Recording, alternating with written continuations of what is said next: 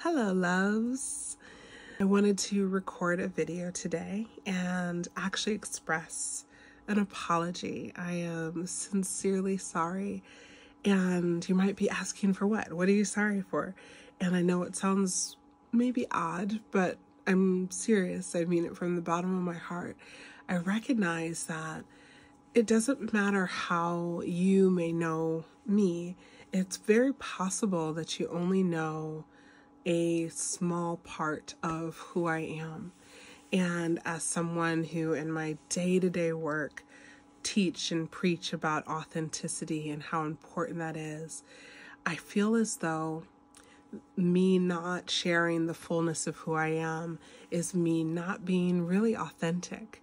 And I don't think I've been inauthentic. However, I do know and recognize there's certain parts of me that I have not really shared fully with the rest of the world. And so, that being said, I do apologize. And in 2024, my intention is that you, whoever you are, however we know each other, you get to know me even more and you might follow me on social media. You might only hear from me um, through emails. You might barely even know me, or you could have known me for years. Regardless, the intention is that you get to know me to the point in which it supports you in your life. And I also wanted to share so much of what's going on in my world for 2024. And so, if our paths happen to connect because of something that you're interested in, amazing. Or if it doesn't at all, also just fine. So, a couple things that I'm up to in the new year I have multiple trips that are global that combine the work that I do with travel and people being in my world. In March, I'm offering an opportunity to be with me in Bali. Um, in the summertime, there's an opportunity to be with me in Costa Rica. Um, in the fall, I will be on the West Coast um, in Portland and in Seattle. I also am doing Soul Blueprint Live second year anniversary, seventh event total in just a few weeks, uh, January 19th through the 21st. I'm doing the first ever Love and Sex in the City retreat that's open to anyone who wants to improve their relationships. That's happening in May.